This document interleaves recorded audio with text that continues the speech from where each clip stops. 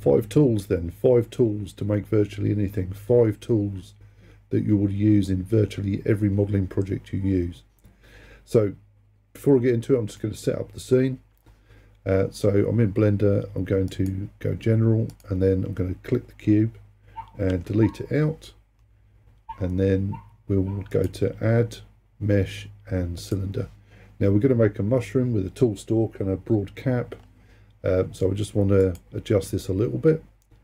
So this will be the stalk. So I'll set the radius at say 0.2 uh, to make it nice and thin but tall.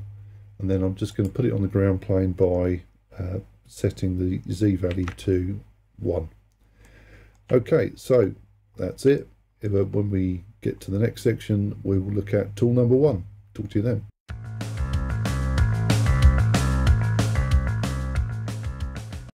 Tool 1 then is the extrude tool. So let's go into edit mode with tab and then I'm going to go into poly select mode and select the top polygon and I want to create the cap here so I want to make some height to do that and with that we use the extrude tool here.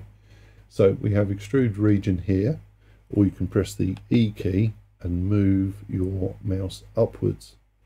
So I'm going to move it up to somewhere around there and then we're going to use extrude again to form the uh, width. So I'm going to double click to select that loop around there. So double clicking. And then this time we are going to use the icon over here because I'm going to click and hold on it and then extrude along normals. And then we will move that out until we have our width. There we go. Tool number one Talk to you in a moment.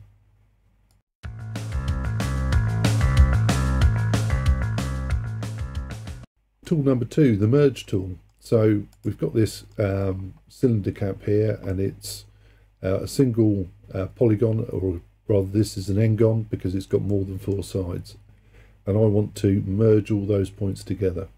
So if I press M and select an at center it will merge them into a single vertex in the middle. And that's the merge tool. Very handy for capping off ends. Uh, I'm not going to cap off the bottom. I'm just going to select it and delete it. There we go. Faces. Okay that's tool number two. I'll talk to you in the next bit.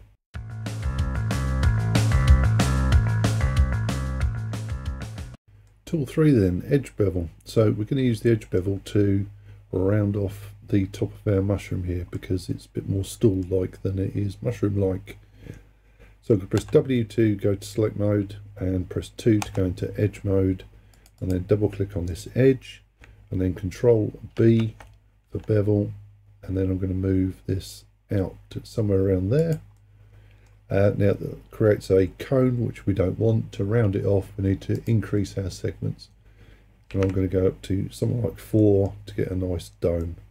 Uh, I don't want too many here or too, uh, yeah, definitely don't want too many here and I don't want too few either. Too few and it's too angular, too many and it's too high poly. Okay, so we've settled on five. There we go. And that is the edge bevel tool. So I'll talk to you about tool four next.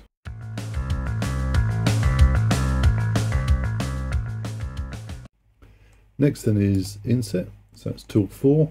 So first of all, I'm going to select all the polygons around the bottom. So I go to poly mode and double click and select that loop. And then we use the inset tool. So if I click on inset, grab this ring and bring it in just a bit. And then I'm going to let go and then bring it in again. So that will do it twice. Now the reason I'm doing that is because I'm now going to move this up, G and Z. And there we go. We have a little overhang on our under our mushroom cap. Okay, tool 5 next.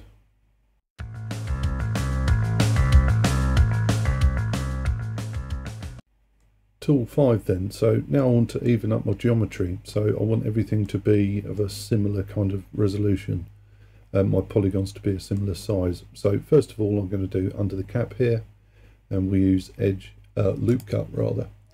So if I select on there to cut that into a loop, then I can increase the number of cuts here to three in this case to give me a nice even uh, set of polygons. Same on the stalk, I want an even set here, so I'm going to click and then adjust until I get a nice even set. There we go. Okay, so that's loop slice. Um, bonus tool next, talk to you in a second.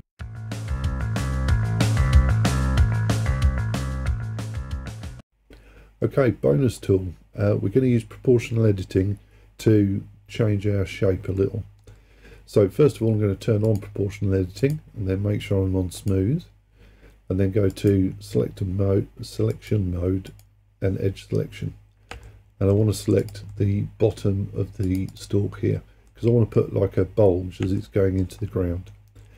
So we can use scale. So if I press the S key, you'll see I can move my mouse and it's scaling and it's proportionately changing uh, or reducing um, as we go into the fall off.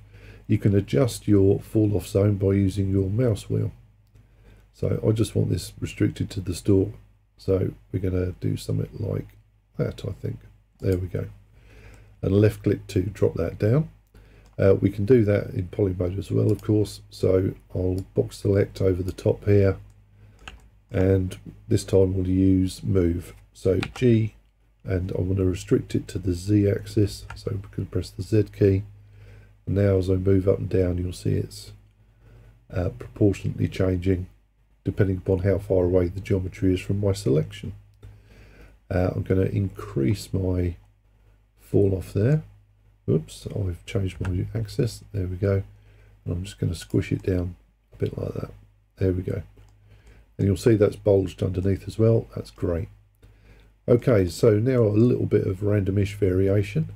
Uh, I'm going to select in vertex mode. I'm just going to select a scattering of vertices across my uh, model here, across the cap. And then we use G and Z and reduce the fall off mode, the fall off ring until I can get some uh, nice little dents in that uh, mushroom cap. There we go. Right, last one then, we're going to use rotate. So I'm going to go back to poly mode. Uh, I'm going to select a ring around there and hit the R key to rotate. Use my middle mouse to um, adjust the fall off and now I can rotate and you'll see the stalk is partially rotating and moving as I'm doing that. So I'm going to rotate it in one axis and I'm going to rotate around and up and then rotate it from that axis to get a kind of wonky in more than one direction uh, cap. Okay, those are the six basic things, or five plus one rather. Um, in the next section, what we're going to do is use those to further refine the shape. Talk to you then.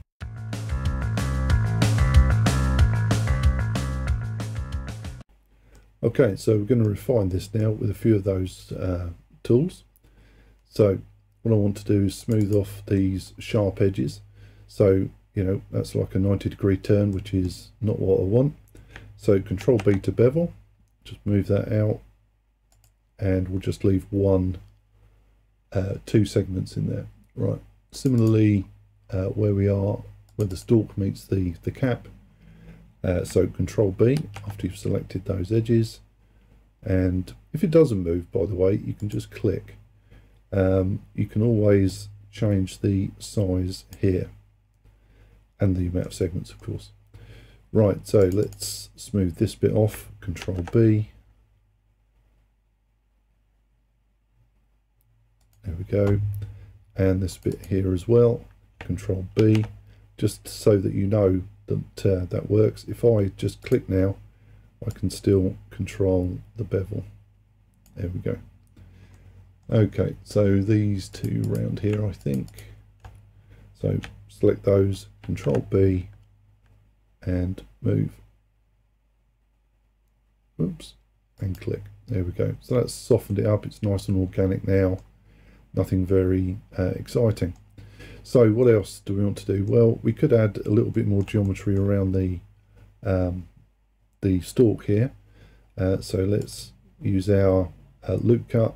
I'm going to cut there, cut there, and this one I'm going to cut twice. So if I cut and then increase my number of cuts to two. There we go.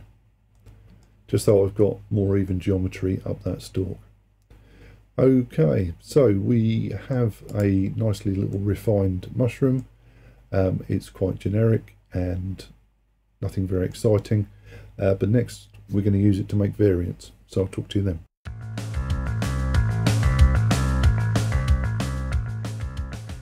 Variants then. So we want to make uh, some different versions of this and this level of polygons is ideal for doing that. But before we do it we want to UV map because I don't want to have to re-UV map every single one, every single variant. So let me double click on that edge there, right click and mark seam and double click around there, right click and mark seam. Where's that gone? It's there. And now I want the back view. So let's go tab and back. And I want to put a seam from here to here. So select the first one, select the last, go to select, select link, shortest path. And then right click and mark seam. There we go. So that should unwrap pretty well. Let's have a look. So UV editing, select everything, right click in the UV room, uh, UV side and unwrap. Uh, I think I might have missed an edge. So let's have a look. I have missed an edge. It's that one there. Right click, mark seam, A, right click and unwrap. There we go, much better. Okay, so now we're ready to do uh, variants. So for that, what I'm going to do is go back to the layout room and make sure I'm in object mode. I'm going to right click and uh, shade auto smooth so I don't get them quite so faceted. And then we're going to make a copy. So let's call this mushroom first. Again, so I don't have to rename everyone mushroom. And then select and then press shift and D and then you can move that around but now I'm going to right click to put it back where it started and then press shift and H to hide everything else in the scene and then tab to edit. And now we're going to make a different version of this. So first thing I'm going to do is just scale it. Uh, so I'm going to scale it in everything but Z. So S and then shift and Z and then I'm going to scale that in like that. So I get a more kind of stumpy one. And then with my fall off on I'm going to press alt Z to go into x-ray mode and then select over the top and then G and Z and I'm going to move it upwards this time I'm going to increase my fall off so more of the stalk follows me as I go there we go Okay, Alt Z to come out of X-ray mode again, and we have a variant. Now one thing I might want to do here is just rotate the top a little. Uh, so let's go to front mode, so tilde and front. X-ray mode again, so I can select both sides of the model, and then box select over the top. And I'm just going to rotate this so that that is a little bit flatter. Let's reduce our uh, fall off there. There we go. So I've got a little bit of a, a bend on the stalk that's not really an issue select over that there turn off portion editing and then press G and just move that to straighten it up a little bit there we go okay alt Z to come out of x-ray mode and we have a variant uh, come out of object uh, edit mode, go into object mode, and then press uh, Alt H to unhide everything else. So now I've got a second variant. And I can press um, the 9 key to go in, not the 9 key, sorry, the tilde key, and the 8 key, at the top, and I'm just going to move this out of the way. Okay, so you can use portion editing you can use scaling, you can use all sorts of things to uh, create different variants. Um, I encourage you to be creative to create those variants. Uh, I'm going to create a bunch of variants so I can create a nice thumbnail. Uh, I hope you found that tutorial useful. If you did, please press the like key to spread the word. And I will talk to you in another tutorial series.